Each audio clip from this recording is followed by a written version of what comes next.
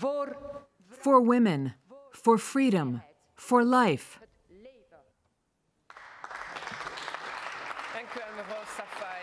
Mevrouw Liekens.